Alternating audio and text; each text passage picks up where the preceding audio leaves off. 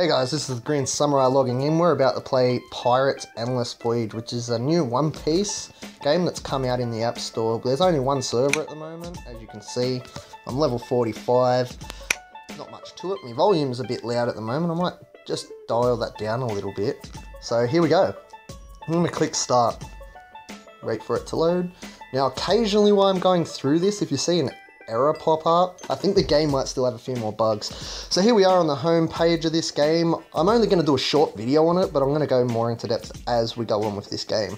So I'm just going to slide across here, show you a few things. I'm going to do only this main page here. I'm showing you all the other icons and buttons. I'll do in another video in a day or two. So here we go. We're going to go into equipment. It's basic really. If you play games like this, you just click on select crew you got your player ranks. Player ranks change, you know, grey, turn into green, green turns into blue, blue becomes purple. But take this into mind, not every card can obtain purple rank. Now I'm going to click on Zoro to show you just because I love Zoro in One Piece and I plan on upgrading him. Now, as I just referred about how characters' colours level up, that's the same as their equipment. They all start off as grey. As you can see, I've got some blues and some greens. In the bottom right hand corner, you're probably wondering, what is a duck? Well, it's quite simple. They are speed beasts. They increase your guy's chance of attacking first to outdo your player because just because you're powerful, if you attack second, could cost you the fight. So, that's a pretty quick speed through of that as you can see all the stats down there, which I'll do in another video as well to sort of explain them all. Also, there's links to characters which enhance them with certain other players. Now, I'm pretty sure backpack's self-explanatory, but I'm going to click on it anyway, just for the sake of it. Just to show you, you know, it shows you everything you have. You have a limit. The more levels you grow, the bigger your backpack increases. Or you can spend some money, even, to increase it. So here we go. We've got also items next to cards. When you click on that, I'm going to show you. So, up in the green section, they're the materials you need to evolve your green guys. As you go down, I'm pretty sure it'll make sense, blue goes to blue. Then, up in the top left, no, don't worry about the top left, I'll explain that later. But as we're going down, as you see it starts to change, they're equipment pieces. Green to green, blue to blue. Then we get further down, you start to see map fragments. They are for ships, which I'm about to get into shortly when I go over to the pirate ships. I'll explain that when I'm in there. Alright, pirate crew. To be able to achieve this, you need to be past stage 610. I run the Pirate Elite, so feel free to come and join. We're a great guild, friendly. We love chatting, helping everyone out that we can because there's a few people in this game that have played uh, Naruto Ninja Chakra Awakens, and this game is so identical to that. It's just visually better, and they've improved on a lot of things where Naruto refused to improve. But don't get me wrong, I'm not bad mouthing Naruto. I play that game and I absolutely love it, and they're in the middle of trying to fix it. So let's hope they do a good job there. Also, if you're interested in that game, I would recommend you jump over to the Crazy Coffee Cats YouTubing account. She's done some great videos on that. So here we've got someone trying to come into my guild by clicking on member down in the bottom left hand corner. You click on that. Well, I will be clicking on that. These are some of my guild members in here. I'm just going to scroll through. I'm not going to read their names at the moment. But as you can see, everyone's growing. They're a bit stronger than me, but that's alright. All these numbers are the amount you've donated to your guild because you need to buy fragments from a guild to be able to grow stronger later on. So it is necessary to be in a guild. So please, like I said, come to my guild. They're friendly. I won't bite. Let's see if this bloke still wants to be a member. Alright. Sometimes when you get there, they've already been accepted by another guild, so no hard feelings. People just don't have time to wait sometimes. I'm gonna go back over to member and back out. Now, as I was referring to donations, you click on donate. You have the choice of donating your money. As it says in the bottom, $1,000 is one contribution point. Points usually cost about 50, 100, and each time they get further and more money. Where? You also can donate your gold, which is strictly one gold for one point. So, you know, it's right there in front of you. It's your choice, whatever you get easier. You've also got the leaderboards. I'm all over the shop at the moment, but that's alright. My guild's a bit down at the moment. We're ranked somewhere. I'm level 4, so... Ah, there we are. Number 11! Woo! Slowly getting the people. Yeah, keep up the good work, boys. If any of you are in this guild and watching this, I hope I ain't making an album myself, but yeah. Also, you got your store, which I was talking about. As you can see, 40, 80. Now, as you can see, it says Pirate Crew Store level 5 to unlock. Now, this is what I was referring to for donations. when you donate, you also have to level up the guild. So everyone has to work together by donating. Whoops, accidentally clicked on the wrong thing there. Your flags as you get as you level up the guild. But as you donate, you have to upgrade your crew, then your store. By upgrading your pirate crew, it allows more spaces, and then the store, as I just showed you, for them equipment pieces. And then you got scenario, which just tells you what's happened in the guild so I can see what people are up to. So that's the guild, just roughly ran through. Now synthesizing. Synthesizing is pretty easy. You just go in here when you get fragments to things, and then you make them. Now, what's really important to know is when you're collecting purple souls, you don't have to get all 80. There's a shortcut, you just get the 40, and then you get some of these bottom ones. I don't know what their names are at the moment, I'll find out in a second for you anyway. Because I've only had this game for a week and I'm still learning as I go, but I just wanted to do a video on it to try and encourage people to come over and play. We only have one server like I was referring to at the beginning of this game, and it's a beautiful game. So, I've accidentally left synthesizing, but I'm back in there now. Now, if you move over to de decompose, if you ever have purple characters you don't want, decompose them, you'll get 20 souls. I'm going to call them souls just for now to refer over to Naruto because it's the same concept of the game. Purples are worth 20. I'm going to keep my purple guy because I'm upgrading my Zoro in the future. Blues are only worth 1. Anything else is worth skiddly squat. So, that's pretty much short and sweet. Now you got scenario. Now, in here in the page, I'm going to accept my money because I completed that mission. But the rest, you know, food, money, gold, you just got to do what you got to do. Each thing's worth points, and as you go, you click on a money bag when you get there.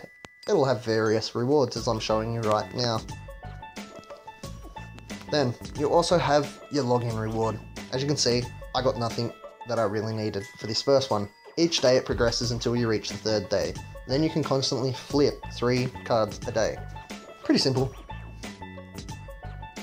Also, drinking Coke gives you stamina in this. So you get 60 and then you have a 6 hour cooldown twice a day. Also pretty pretty straightforward. Then we've got Protect Vivi. Now, as you can see the sword and shield, it has 2 out of 3 because I've clicked on it 2 out of 3 day times. It's once a day you click on it. When you get to the third, a roulette will appear. The roulette will give you a chance of one purple character, and I'm not too sure, but let's just say 6 to 8 not necessarily different characters. You could have, say, 10 souls to a purple character, 20 for the same. But it varies. You never know what you're going to get. And strictly, it's all luck. Also, down where it says attack, as you can see, you get little rewards for those pieces to upgrade your lower cards. It has a cooldown time to do each day, but the more times you do it in a day, the better the reward becomes, but the cooldown tends to take longer. And then over in the 5 card battle, oh man, I've tried to do videos earlier and they've crashed, so I'm not going to go into it today, but I'll show you in another one. But pretty much you have five cards and you've got to try to predict how to beat the battle. And these are your missions that you get just throughout little bonus rewards. All throughout it. And then money. It's like a money tree, this spot, I guess you could exchange. You get one free shake a day, and then afterwards 10 gold as you can see. I'll click it. Just to show you that it increases. And then the value of the gold you've got to spend for more keeps raising let's go into event. You've got these rewards right here if you can reach these certain levels within the week, which comes in handy for your account for a beginner. Now, the event section is a lot for people who want to spend money, so I'll quickly go through this without too much, but like I said, I'm going to do future videos and go more thoroughly through everything. I'm just mainly doing the homepage and a few things inside of the icons that I'm clicking on. So as we go across, Grow Fund. Now, as you can see, I can't claim it because I haven't bought it. But if you want it, buy it. I'd recommend it because it goes from level 10 all the way down to 160 as you can just see as I flick down. But here's the catch, people. As you can see, this little gift box that looks like a poor package from Santa Claus is here. You can click on that. You do not need to buy money to get these rewards in here. You've just got to hope that other people do buy it. As you can see, I've claimed a few. Maybe in the future I'm going to buy it. I've just got to wait a bit. I did buy all these things on my Naruto account in Chakra Awakens, but, you know, let's just take baby steps with this game for me. As we move over, like I was saying, there's two things in this game you truly only want to really purchase to get you going without spending much money. and that's going to be the monthly card and VIP. You get $200 of gold a day just by logging in. And therefore, when you go to the VIP shop, you can either buy Ruin suit, well, not sushi in this game, but you know, XP, money, bags to sell, so it's all good. And runes are one of the most crucial things in this game, along with equipment. They are vital to it. Now, over here, how I was referring to money spending. As you can see, for your first time, you, un you unlock a purple lore. You also get smaller rewards. 300 more gold? No, I mean, green card. If we just shift down a little bit, let's go down to 8,000 gold where it should jump a bit. Well, it wasn't a very good one to click on, it's only a blue lore. But let me show you at the end, when you've done 150,000 gold purchases, you get purple Doflamingo. Now, he will be strong in this game. Most people that tend to be at the end of these from other games, like in Naruto that I'm referring back to, was reincarnated Itachi. Is the only way to get him is by spending money, and he is an overpowered player. Usually when people see that in a team, they'll drop a few bricks. But, yeah. And then here, invite players to game. You just get a little bit of sushi and that, so it's not overly too important, but like I said, each to their own. Now we're getting down to the pirate ship. We'll click on pirate ship. Just gotta wait a little bit for it to load. Here we are. I have the Moby Dick. It's a purple ranked one. There can be a bit of a drama to get, and it's also luck when you do it. So when you click on refresh bonus, you just gotta, you get one every day for free and then it costs gold. I have done it in the previous videos that have mucked up. I was just having bad luck recording. I also went to collect. Now, I don't have much money, but I'm going to do it again in this video anyway, just to show you a quick little thing about the pirate ship, so I don't really have to do this in the future. I've got a little crummy green one here. I'm just going to compose that real quickly. And then, yeah, I, I got the ship where they hire Sanji from, the chef's ship. So I don't know, Baratie or something. Mm, not too good with One Piece names. I'll get better for you out there, but that's alright. So now that I've summoned him, I'm going to move over to decompose on the left. I'm going to decompose him. He's worth 20 red points. So I'm going to decompose. Let's go back to pirate ship. Now you can see I have 30 out of... I got 38 on the right, and it cost me 30. I'm going to upgrade. That increases my level and my attack damage, but it is also vital to know by doing this, you increase the chance of getting higher substats for your ship, as you can see for penetration, tenacity, resistance, and dodge. When I refresh in the future, I'll have a higher chance of getting better stuff for it. And that's a quick rundown of how the ships work. Companions is your friends list. Now in the other videos, I had a few people trying to add me. In the top left, top right hand corner where the green button is, if it's flashing, there's characters trying to add you. So you come here, send stamina, receive stamina, send mails to your friends, see what guilds they're in. That's pretty straightforward. So you can keep an eye on everyone. Also, when you use somebody in this game, it's like 5 points, I think. But if they're your friend, you get 10. And you come over, and you got the store. You get rewards. You can get fragments to XP, money, low grade characters. The more points you have, the more you can do it, the better off you are. I'd recommend you wait until you have a thousand to do it. Just better to get 10 rewards in one go. That's my personal opinion. And then we have rare breeds. And then we have rare breeds. Now, rare breeds how can I say this? This is pretty much a speed beast like I was saying earlier about Zoro. This is where you obtain them. So we're going to go to Secret Land. I don't have any on me at the moment to show you, but I'll make a video on it as an individual video when I go through it. I can't get on this one yet, but that's how you obtain them. You need these little white bubble paws. So when you come here, for example, you'll just pick your beast. I'm going to pick the Lord of the Coast. His level's only 2. If I had some stones down here with the skulls, that's how you upgrade them. And vice versa, just like the pirate ships, you decompose, but I'm not decomposing them because I only have three. I don't even have a full squad yet. But that's a quick rundown of the rare breed. And now album. As we go into here, you can click on crew. And then in here is a way, if you want to check to see if you can achieve purple. As you can see, they only become highlighted if souls or have owned it. Sorry, mate.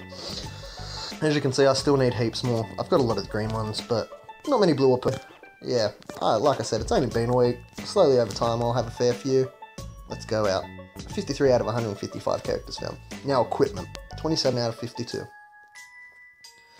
Now, you do not get to pick the equipment that goes to a character. A character has its own unique equipment. Let me point that out because you cannot pick. Each equipment will have its own benefits. I'll probably even do another video in a short period of time from this video just to explain equipment for people. But let's just say, for example, the sword can do critical damage, the gun could do accuracy, and the armor could do durability, and another piece of armor could do dodge. That's all just individually done. But when you are doing these, try to keep in mind if you are spending money and grabbing runes, try to get the runes to go with your percentage chance. I know it's common sense, but you'd be surprised in other games the people that did not know this or do this. It is very vital to your success in these type of games. So, pretty much I've just given you a run through real quickly and simple of the home front page of just the center icon buttons. I'm going to go through later on in further videos. I hope you've enjoyed this little short clip of the One Piece game of the Endless Void. So this is the Green Samurai logging out, and I'll have to see yous next time.